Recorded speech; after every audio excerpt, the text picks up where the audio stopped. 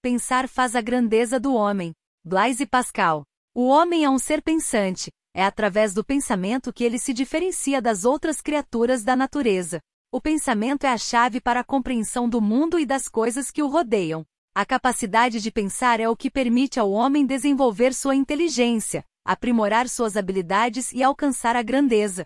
O pensamento é o que permite ao homem criar, inventar e descobrir. É através dele que se desenvolvem as ciências, as artes e as técnicas.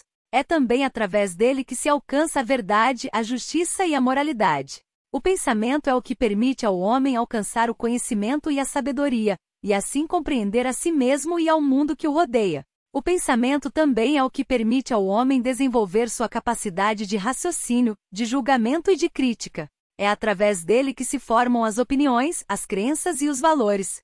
O pensamento é o que permite ao homem questionar, investigar e buscar a verdade. Em suma, o pensamento é o que faz a grandeza do homem, é através dele que ele se desenvolve e se eleva acima das outras criaturas. É importante, portanto, valorizar e cultivar o pensamento, pois é através dele que alcançamos a verdadeira grandeza humana.